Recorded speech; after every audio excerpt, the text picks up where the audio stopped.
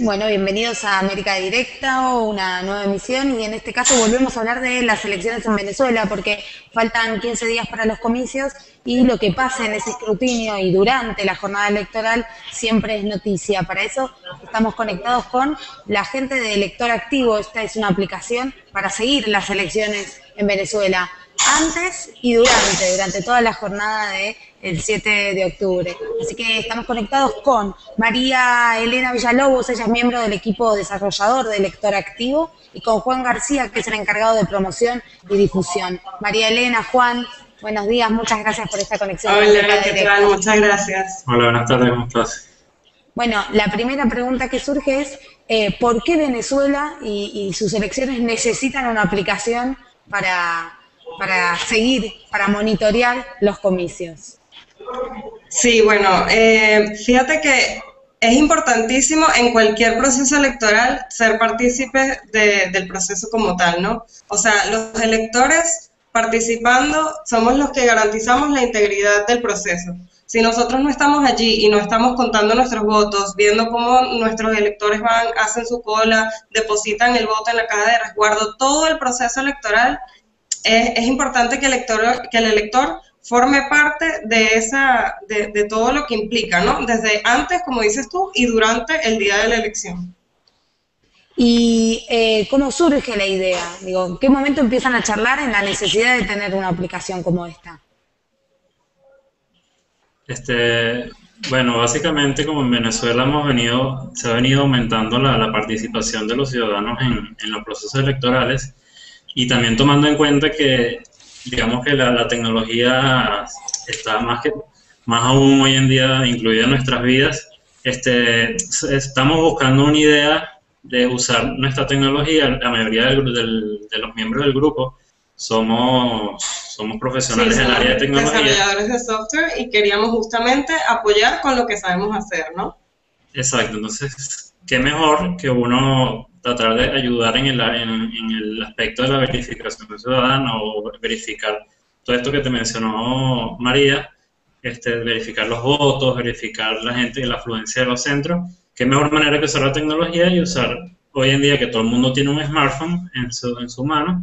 Este, bueno, crear una aplicación para, para ayudar en eso. Sí, eso es una cosa importante, ¿no? El proyecto es más que la aplicación. La aplicación es un soporte para aquellas personas que tienen acceso a, tener un, teléfono inteligente, ¿no? Pero si no lo tienes igualito, puedes participar acudiendo a tu centro luego del cierre para realizar la verificación ciudadana, que es un proceso de auditorías en el cual eh, los electores pueden ser partícipes del mismo, un proceso público. A partir de las 6 de la tarde se cierra el centro y comienza el proceso de escrutinio, el cual, eh, como te decía, es público y los electores eh, pueden acudir y presenciar ese proceso de auditorías luego se transmiten los resultados, o sea, bueno, se imprime el acta de, escrutinio, eh, se transmiten los resultados y luego se hace un sorteo.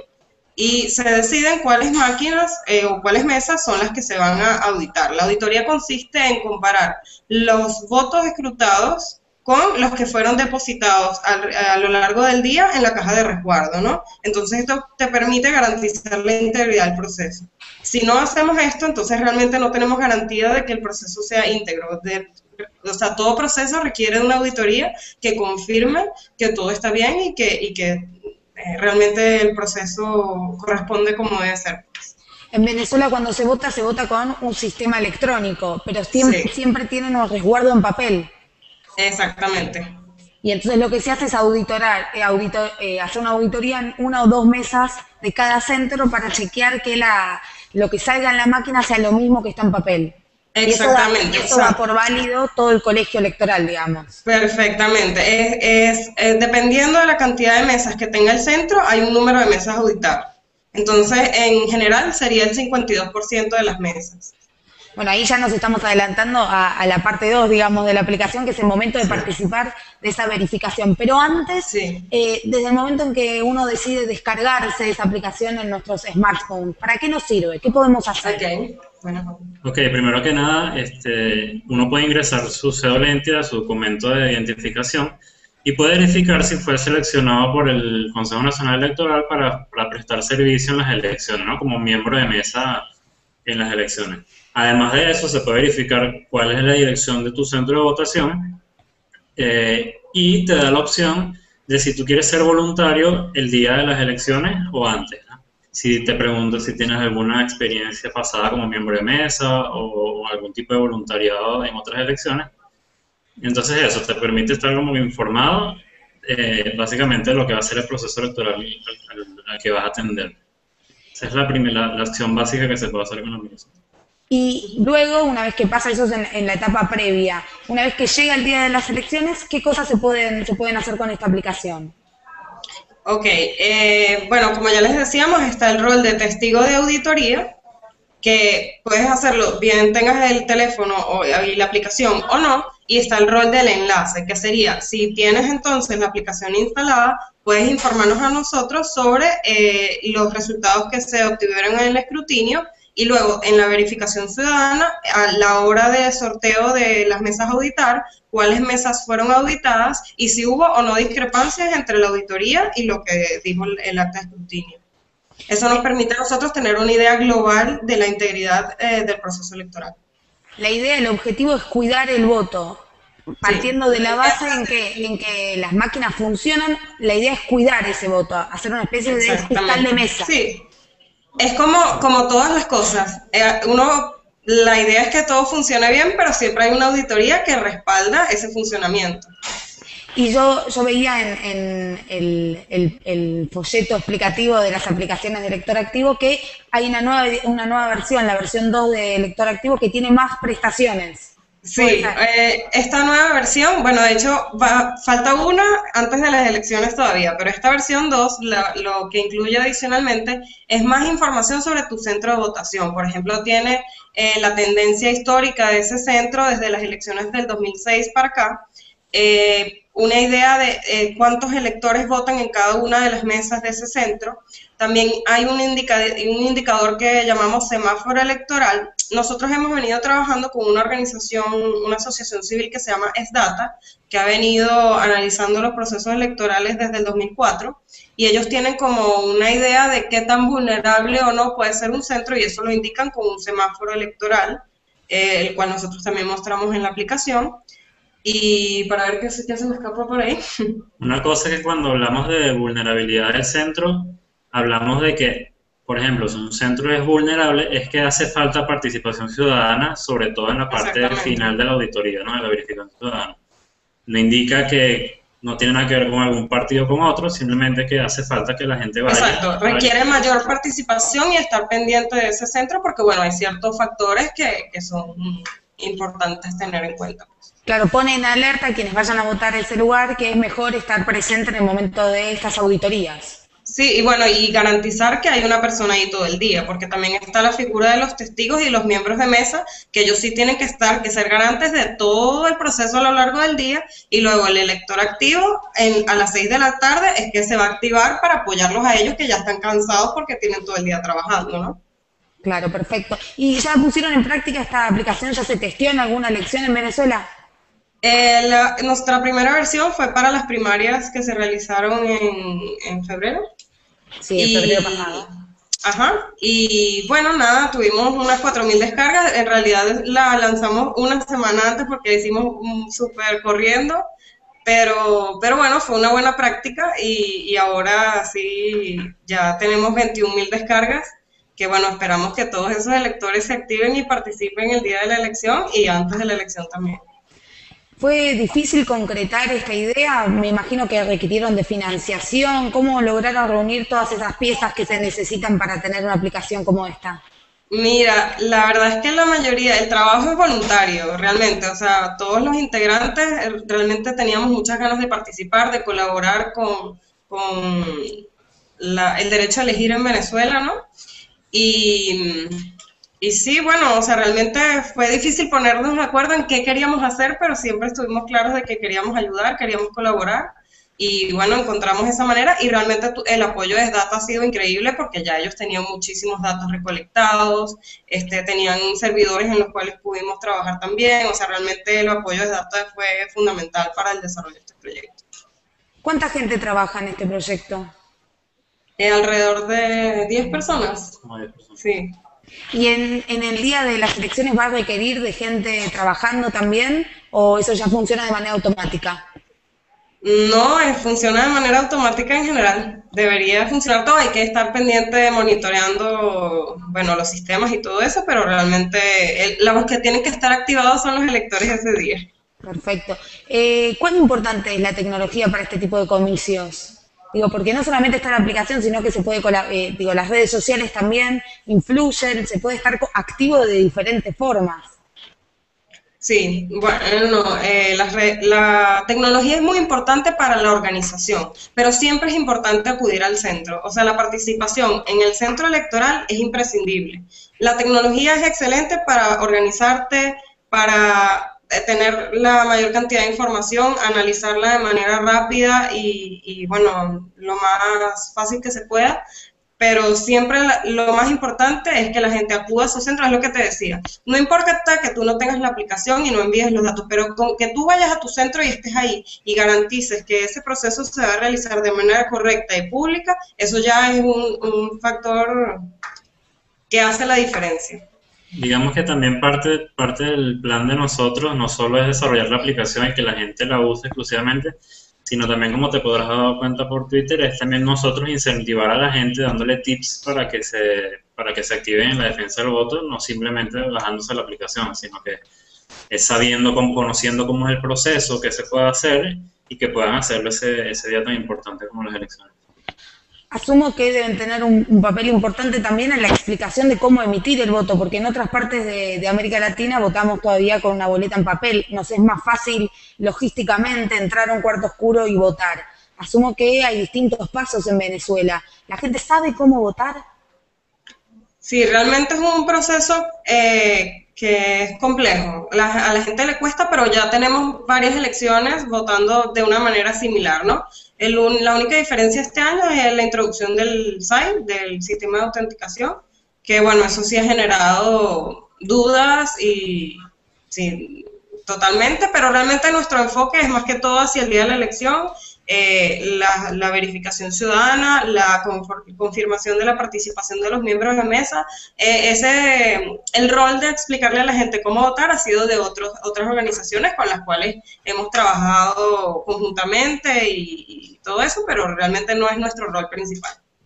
Y ustedes tienen la posibilidad con, este, con esta recolección de datos que hace con los electores activos de tener alguna especie de boca de urna cuando esté llegando el final de la elección o, esos datos no sirven para eso? Bueno, realmente es difícil todo el, tema de la proyección y todo esto, o sea, nosotros no, no vamos a, a, decir que tenemos un resultado, realmente no, no podemos decir que ese resultado sea certero, pero eso también dependerá de cuánta gente realmente nos envíe resultados ese día, ¿no? Y bueno, vayamos a la, parte más logística. ¿Qué, ¿Con qué sistemas operativos funciona? ¿Cómo se puede acceder a la aplicación? ¿Dónde se tienen que dirigir los venezolanos que quieran tener esa aplicación?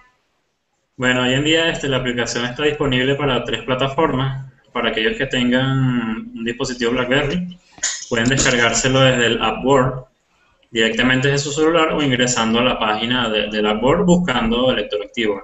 También está disponible para celulares Android aquellos que tengan sistema operativo Android, simplemente pueden dirigirse al Google Play, buscar igual nuestra aplicación, y para aquellos que tengan celulares iPhone eh, con sistema operativo iOS o tengan un iPad, pueden también buscar en el App Store este nuestro aplicativo y descargárselo gratis, ¿no? Siempre en todo sí, o de cualquier plataforma, si accedes a móvil.esdata.info, él te redirige eh, al market correspondiente, al lugar en donde tienes que descargarlo. Y también para cualquier información adicional pueden contactarnos por nuestro Twitter, arroba electoractivo. En arroba electoractivo también se puede enviar datos todas aquellas personas que no tienen la, aplicación. Claro, eso sería interesante, por ejemplo, el, la auditoría, em, el acta de escrutinio y el acta de auditoría, sería interesante que tú colocaras eh, lo postearas con mención a nosotros para nosotros tener idea de cuánta gente ha tenido acceso a esa información, pero realmente eso sí no se va a poder procesar automáticamente, eso sí no está planteado. Lo que sí va a estar procesándose automáticamente es la, información que llegue a través de la aplicación. Perfecto, aquí tenemos una pregunta de Juan Manuel de la Vega, él es paraguayo, ingeniero, tiene 54 años y nos pregunta si se puede utilizar el lector activo en Paraguay. Bueno, actualmente no. Eh, tendríamos que hacer un análisis de todo el sistema electoral paraguayo para adaptarlo a, ese sistema, pero realmente sí, o sea, esto es algo que, que cualquier país debería hacer porque, porque es eso, uno tiene que tener las elecciones y el derecho a elegir en sus manos. Digamos que es una aplicación que se podría replicar en cualquier otro país con, con los datos acordes, etcétera, pero que se podría, es una experiencia que se podría replicar. Claro, totalmente, sí. Bueno, decían que va a haber una nueva versión de lector activo antes de, sí, tienen que estar pendientes la semana que viene porque estará saliendo la nueva versión y bueno, eh, estaremos notificando a través de SMS seguramente, pero bueno, estén pendientes eh, los electores también para descargar la última versión. Se puede actualizar eh, la que ya está. Sí, sí. Y tendrá... Sí, sí, Normalmente a través de los markets en tu, en tu dispositivo te indican que existe una actualización nueva o si quieres ingresa directamente al market y lo actualizas. ¿Prevén alguna prestación nueva o es mejorar lo que ya está? No, es justamente la parte de enlace no está en el market todavía. Sería ese el, release que estaríamos haciendo la semana que viene. Bueno, perfecto. Bueno, muchas gracias por, esta comunicación con América Directa. Estuvimos hablando con María Elena Villalobos, ella es parte del equipo desarrollador de Lector Activo, y Juan García, que es el encargado de promoción. Ellos, junto a un grupo de gente, desarrollaron este, esta aplicación para smartphones para seguir las elecciones en Venezuela. Muchísimas gracias. Muchas gracias, a ti. Chao, hasta luego. Hasta luego. Bueno, y nosotros nos vemos en una próxima emisión de América Directa.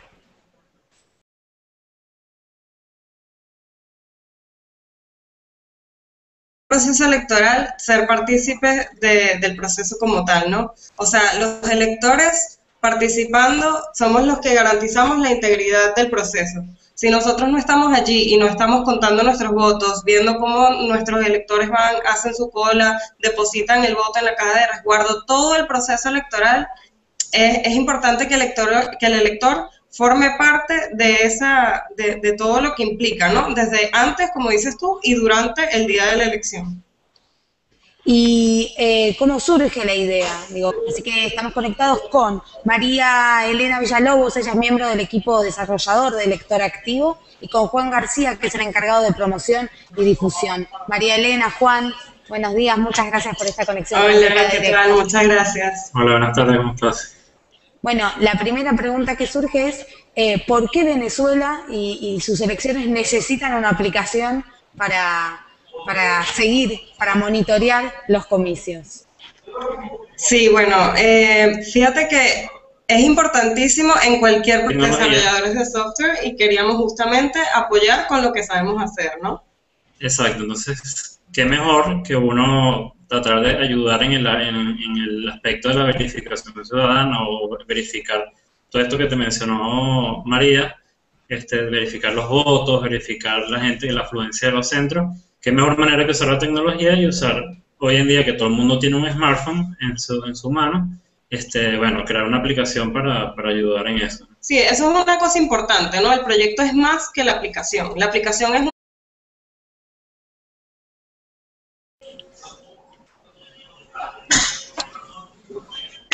Bueno, bienvenidos a América Directa una nueva emisión y en este caso volvemos a hablar de las elecciones en Venezuela porque faltan 15 días para los comicios y lo que pasa en ese escrutinio y durante la jornada electoral siempre es noticia. Para eso estamos conectados con la gente de Elector Activo. Esta es una aplicación para seguir las elecciones en Venezuela antes y durante, durante toda la jornada del el 7 de octubre. ¿Con qué momento empiezan a charlar en la necesidad de tener una aplicación como esta? Este, bueno, básicamente como en Venezuela hemos venido, se ha venido aumentando la, participación de los ciudadanos en, los procesos electorales y también tomando en cuenta que, digamos que la, tecnología está más que más aún hoy en día incluida en nuestras vidas, este, estamos buscando una idea de usar nuestra tecnología. La mayoría de los miembros del grupo somos, somos profesionales en el área de